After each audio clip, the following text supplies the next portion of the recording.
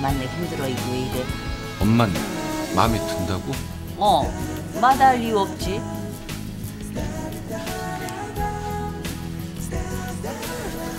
아주 소박하네. 도우미 아줌마 보내고 얘기 좀 하자. 아까 비교하고 눈에 안 차서 슬쩍들 얘기하는 거 들었지?